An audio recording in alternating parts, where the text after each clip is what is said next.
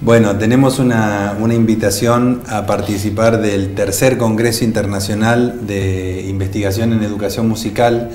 Este, como recordarás, el anteaño pasado tuve la posibilidad de participar en este congreso en Valencia, llevando una investigación que hizo nuestra institución con Silvia Malbrana a la cabeza. Te vas a conocer toda España este tema. Y bueno, este, eh, igual hay que evaluar una serie de condiciones, sobre todo económicas. Pero bueno, felizmente este, es un honor que me hayan incluido en el comité científico de ese, de ese congreso, o sea que más allá de mi presencia o no, soy evaluador de trabajos que se presenten en, en el mismo, este, junto a muy reconocidas figuras este, del ámbito, con lo cual realmente es un orgullo muy grande para mí y también para la institución que se ha tenido en cuenta en, el interés de que presente sus, sus avances. Y en, esta oportunidad, si es que lo podemos concretar, va a ir por el lado de contar un poco estas experiencias que hemos tenido en torno a la musicografía braille y a la integración. Así que, ¿Fecha? Esto es el 1, 2 y 3 de julio. Julio. Esperemos que pase esta, esté solucionado el problema también del coronavirus. Ojalá. Porque Ojalá. Este, lamentablemente interesa y hay que evaluarlo. y, hay que está como antes que nada, ¿no? Este, hay que evaluarlo también. Ojalá. esperemos que puedas viajar este, sorteando todos los obstáculos. Y te escucharás algunos conciertos a la paella. Bueno, en esta oportunidad, muy, muy para mi alegría, cada uno de los días cierra con conciertos yo creo que tiene en gran medida que ver con que una de las organizadoras es compositora y directora de orquesta ah. este, y está a cargo de la, de la, cuestión orquestal en la Universidad de Bilbao. Entonces este, es como que ha mm, favorecido que cada uno de estos encuentros cierre con conciertos importantes, así que bueno, si es que se da, va a ser un deleite. Llevar el grabador o filmar, lo que sea. Algo vamos a hacer. Bien, eh, ¿qué se viene ahora? Eh, la inscripción.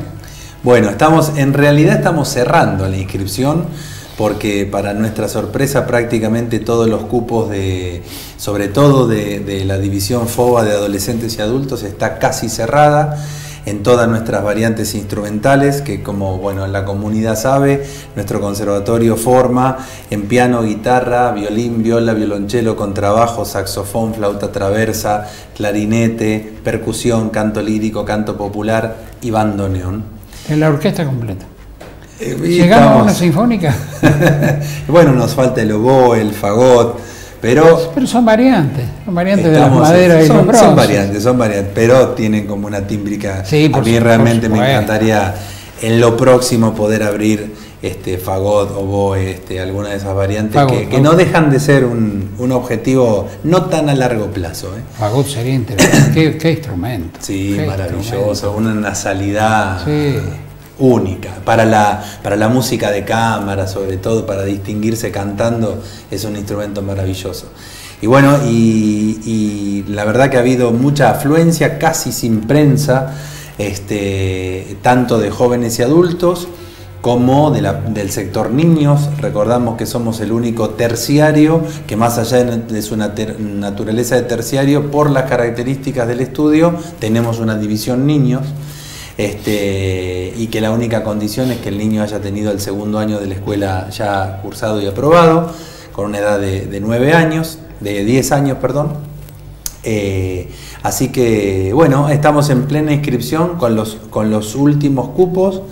Eh, preparando un año de mucho trabajo. Me he propuesto que no sea tan agotador como el 2019, que con el tema de los 40 años fue 40 aniversario.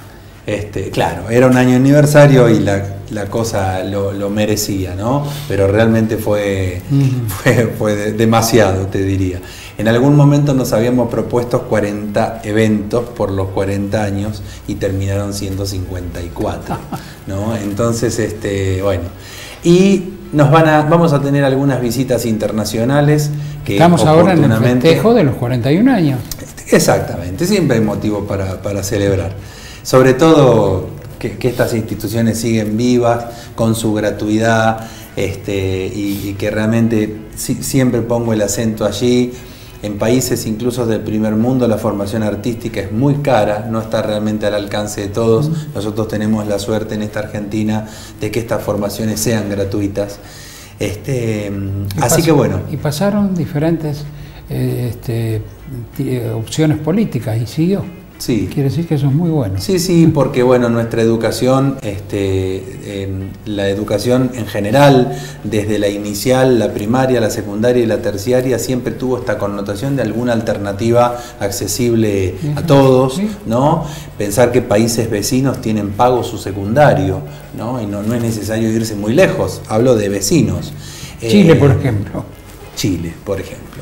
Y realmente estas cosas son para, destacar, pero también para aprovechar con la seriedad de, canalizar la vocación y aprovechar esas alternativas este, apostando a futuro. ¿no? Y en ese sentido el conservatorio la verdad que está cada vez más instalado, no solo a nivel de la, de la ciudad, sino de toda una región. Estamos teniendo un alcance de 200 kilómetros circulares aproximadamente, este, con alrededor de un 40% de población extranjera, por decirlo de alguna manera.